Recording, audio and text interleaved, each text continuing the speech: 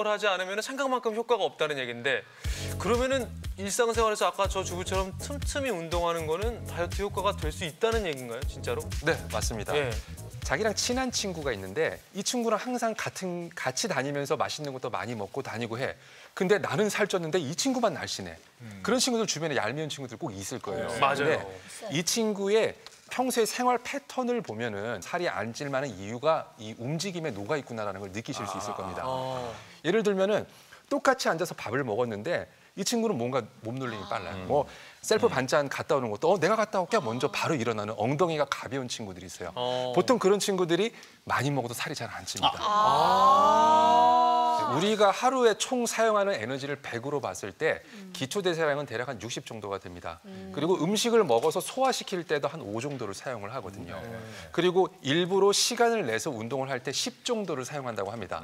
그럼 나머지의 칼로리가 있죠. 25. 그렇죠. 아, 계산 빠르네. 아니 쭉쭉 계산하고 더하면 그게 뭐 그게 어려운 일 아닌데. 아니 어려운 일 아닌데 왜 그, 놀라고 그래? 아, 제가 아는 표현호 씨는 원래 이런 계산 못 했거든요. 아 지금 아니 너무 쉬운 얘기를 하는데 깜짝 놀라고 그러세요. 아니, 신인 때는요, 예, 7 빼기 4? 뭐지? 이거 봐요. 이랬다고요. 예. 어, 갑자기 질문이 들어와. 어이구. 그래서 방금 말씀하신 정확하게 계산하신 그 25가 실패 없는 다이어트의 핵심입니다. 그 이걸 바로 NEAT, 니트라고 얘기를 합니다.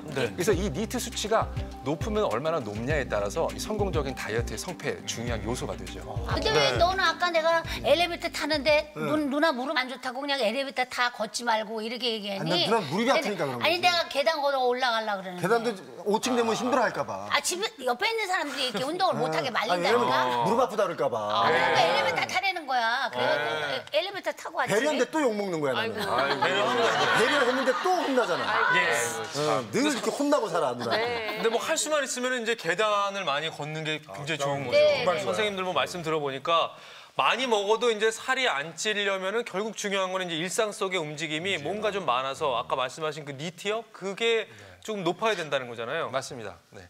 갑자기 안 하던 짓을 한 게 아니고 평소에 하던 생활인데 그 생활의 습관을 조금 바꿔서 에너지 소비가 늘어나니까 이거는 내 몸에 배어 있는 거예요. 그래서 성공적으로 뺀 체중을 유지할 수 있는 가장 중요한 방법 중에 하나가 우리 바로 흔한 말로 왜 그 빨빨거리고 돌아다닌다는 표현 있잖아요. 그러면 그렇지. 그냥 다이어트 되는 거네. 그렇죠. 얘 이렇게 빨빨거리고 다니니 이러면 쭉쭉 빠지는 거네, 그죠? 설마 선생님 그래, 그래요?